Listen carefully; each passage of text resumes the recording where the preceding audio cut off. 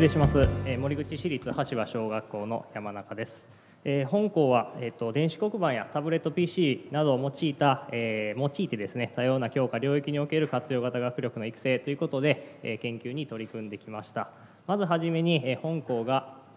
研究助成を受けてきたその歩みを、えー、ご紹介したいと思います、えー、本校まずあの4年間研究助成を受けてきました。でそのうち、えー、一番最初の年がですね2009年度に、えー、初め一般女性を受けさせていただきました。その時の、えー、様子なんですけれども、えー、この年初めて、えー、橋場小学校に、えー、ICT 機器が入ってきました。で、まあ、初めてだったのでとにかくこの機器を使ってみようというところから研究が始まりました。で、えー、とにかく使ってみるということと全教員がこの ICT 機器を使っていくということを研究のテーマに据えて、えー、1年間研究をさせていただきました。でその結果最後に場面集を作成させていただきました。えーと、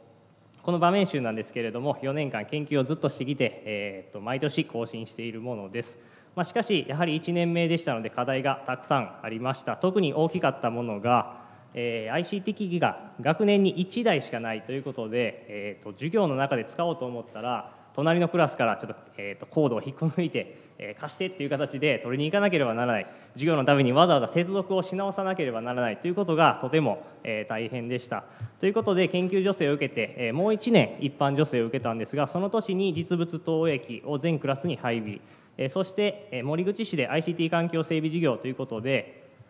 電子黒板そして50インチモニターが各クラスに入ってきました。これによって各クラスで機器が揃うことになります。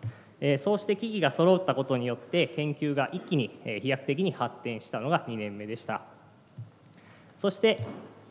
特別研究指定を受けた2年間で電子黒板ユニットそして総務省の絆プロジェクトの採択の1項に選ばれましたのでそれによってタブレット PC が4年生から6年生の各クラスに配備されることになりました。そして3年目4年目にはこれだけの研究を進めることができました。今日はですねこのうちの6個の部分を説明させていただこうと思ったんですがちょっと時間の関係上上の4つについてだけ説明させていただきます。まずはじめ活用型事業と ICT 機器の、えーと、融合ということなんですけれども橋場小学校では確かな学力のうち思考力表現力判断力といった活用型学力のためにの育成のために ICT 機器が効果的に作用するのではないかという前提のもと研究を進めてまいりました。そしてアドバイザーの先生にアドバイスをいただき ICT 活用には3つの効果があると。基礎的効果ですね。まず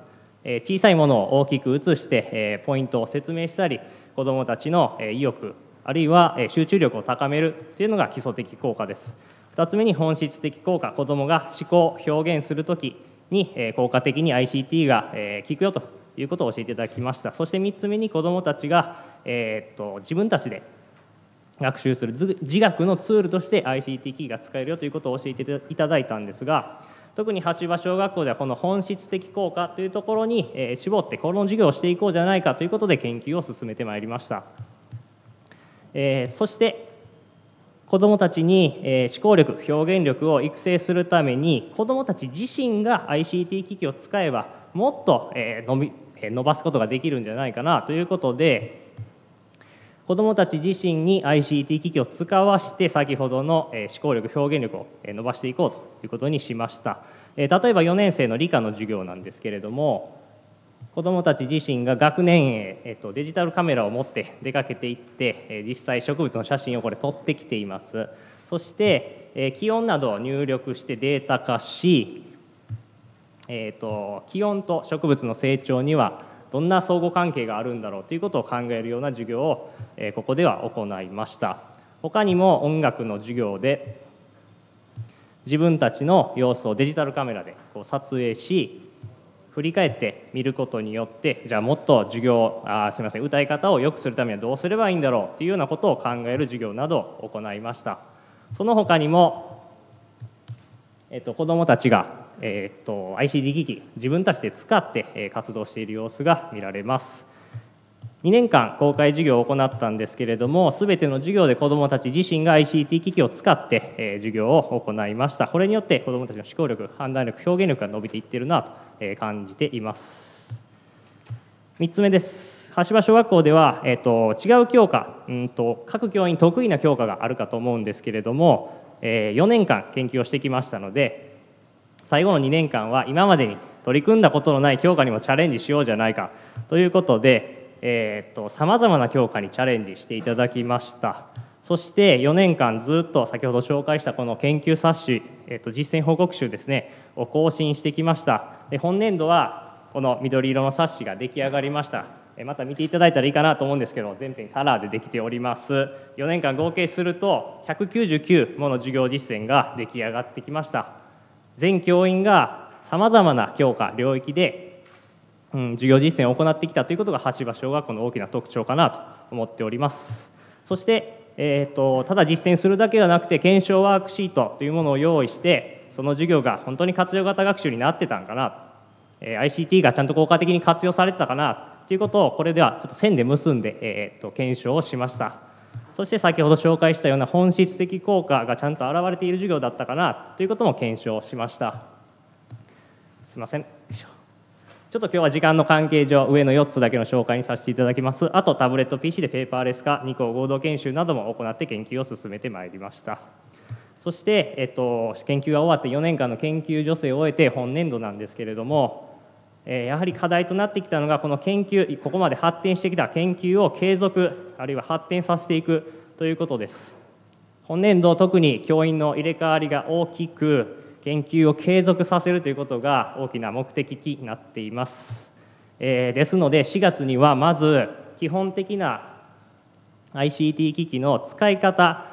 初夏カメラのスイッチここです。接続はこうですというところからもう一度スタートし直しました。え新天人の先生もいらっしゃいます。初めてタブレット PC を使う先生方もいらっしゃいます。そしてもう一度、え聞いてみたい先生その先生方を集めてまず最初、えー、っと研修を行いました。そして5月には模擬授業ということで活用型学習の中に ICT 機器を取り入れたらどんな授業になるんだろうということを、え授業提案させていただいて、えー、っと今1学期を終えたというところですまた2学期3学期から研究授業をたくさんしていって研究を発展させていきたいなと思っているところです。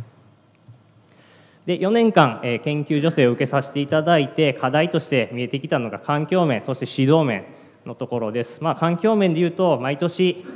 えー、っと子どもたちどんどん年数が上がっていきますのでその中で教室配置などが変わっていきます。ですのでそこでこうタブレット PC の保管庫を移動させたりであるとか無線 LAN の設定ができていないであるとかというハード面の環境面の問題が一つ。そして、えーと、教員の入れ替わりなどもありますので教員の指導力向上などなどが、えーと、指導面の課題として残されているので今後取り組んでいかないといけないかなというところです。そして最後に、えー、本年度10月9日に総務省の絆プロジェクトの方の発表会予定しております。またですね2月25日には公開研究授業3クラス1年4年6年の方で公開授業予定しておりますのでたくさんご参加いただければなと思っております。以上です。